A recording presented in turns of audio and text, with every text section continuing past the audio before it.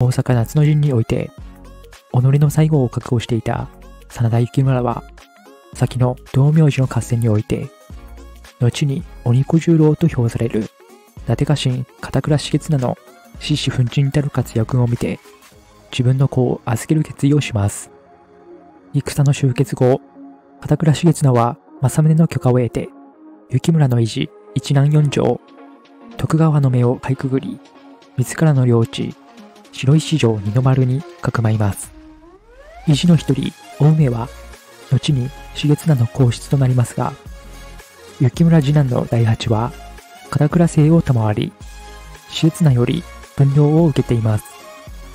1640年、片倉重綱、古内重清の推挙もあり、第八は、真田森信と名を改め、